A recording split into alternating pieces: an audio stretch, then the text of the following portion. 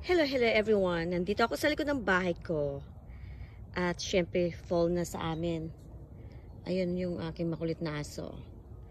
Eh, nag-ikot-ikot ako dito. At ngayon, meron akong nakitang kayamanan dito. Tignan mo, guys. Oh, may kayamanan ako. Ayun guys, oh. oh. Di ba mag-ikot-ikot ka lang dito? Mag-ikot tapos ano, namin mo kayamanan, mayroon ka nakukuhang ano din eh, malamig na ang lupa. So, umikot ako dito. Tapos, oh. Oh, guys, oh.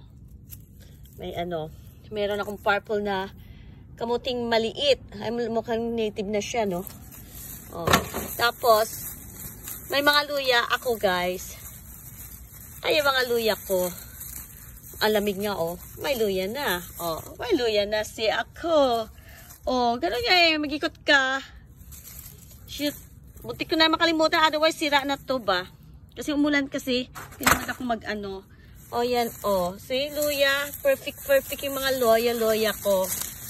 Oh, yan. Oh, di ba? Oh, ayan. May libreng loya na naman ang lala nyo. Ayan, oh. Laki ng loya, guys, oh. Ang lamig eh. Dinig ko na to. Actually, nadig ko na to. Ayun o. Mga luya.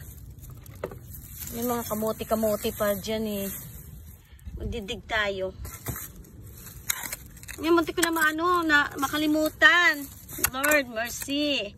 O, ayan. So, at least, I'm just trying to show you guys na meron yung akong luya. At meron ako yung, yung sa probinsya, yung upo-upo na yan. ba? Ang bango nga oh, yung upo yan eh sa Bisaya, sa mga Ilongga. Nilagay yan sa munggo. Ayun oh. Ewan ko, hopefully babalik pa yan siya. Yung upo na yan oh.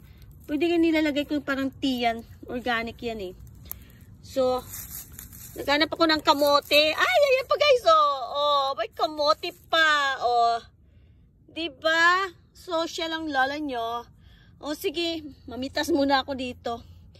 Hanap ako ng kayamanan ko dito. Bye guys!